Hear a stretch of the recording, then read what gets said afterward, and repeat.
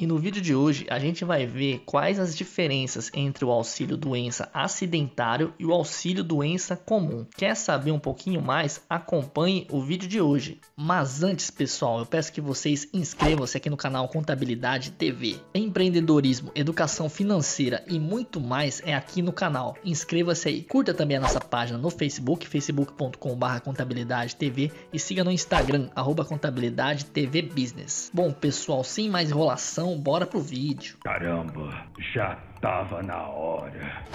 Bom, pessoal, muitas pessoas ainda confundem o auxílio doença acidentário e o auxílio doença comum, que, apesar de algumas semelhanças nos nomes, se trata de dois benefícios totalmente diferentes. É algo bem distinto um do outro. Então, no vídeo de hoje, a gente vai ver a diferença entre eles.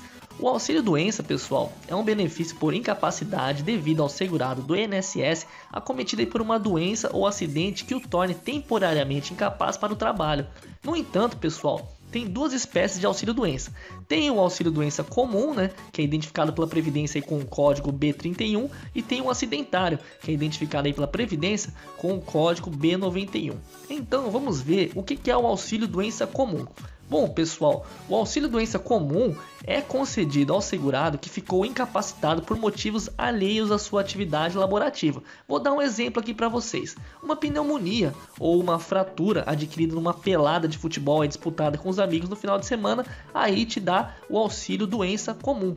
E o auxílio doença acidentário? O que, que é, Léo? Bom, esse auxílio doença acidentário é o benefício concedido ao segurado que ficou mais de 15 dias incapacitado para o trabalho em decorrência de acidente de trabalho ou de doença ocupacional. É quase a mesma situação do auxílio doença, mas no auxílio doença acidentário, a origem do afastamento é o acidente de trabalho ou uma doença decorrente do trabalho, enquanto no auxílio de doença comum, a origem são as doenças comuns. O auxílio doença acidentário, ele é um benefício devido ao segurado, empregado aí, né, o empregado doméstico, ao trabalhador avulso e ao segurado especial que ficar temporariamente incapacitado para o trabalho em decorrência de acidente de trabalho. Assim, acidente de trabalho é aquele que ocorre no exercício de atividade a serviço da empresa e provoca lesão corporal ou perturbação funcional, que pode causar a morte aí, a perda ou a redução permanente ou temporária da capacidade para o trabalho.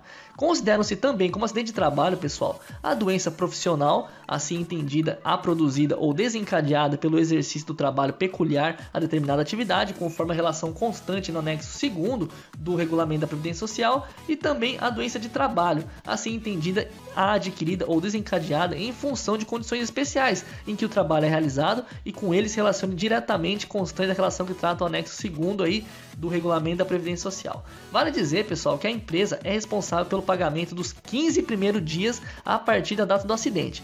Já a Previdência Social é responsável pelo pagamento a partir do 16º dia da data do afastamento da atividade até a data da alta médica. Então, como a gente pode perceber, apesar de ambos serem auxílio-doença, o comum e o acidentário possuem características específicas que geram ou não direitos aos segurados. Portanto, é muito importante ficar atento. Qualquer dúvida, pessoal, deixa aqui nos comentários. Então é isso, pessoal. Espero que tenham gostado do vídeo. No final deste vídeo, eu vou deixar um link do lado esquerdo para você conhecer meu outro canal, onde eu falo sobre coisas mais descontraídas, vlogs, curiosidades e muito mais. É lá no canal Léo Tira. Do lado direito do vídeo, eu vou deixar um link para você aprender um pouco mais sobre o assunto e no canto inferior o link para você poder inscrever-se. Peço também que conheçam o canal Opinião Sincera. Vocês que estão aí procurando um automóvel, quer economizar dinheiro para poder comprar aquele carro dos sonhos conheça lá o canal Opinião Sincera, tudo sobre automobilismo. Bom, pessoal, muito obrigado quem assistiu o vídeo e até a próxima. Sucesso na sua vida, que Deus te abençoe, pois se Deus não somos ninguém. Você curte carros? Quer saber mais detalhes e curiosidades sobre vários modelos? Quer uma opinião imparcial e sincera? Então vem com a gente. Nós somos engenheiros que não entendem nada de jornalismo e que somos apaixonados por carros.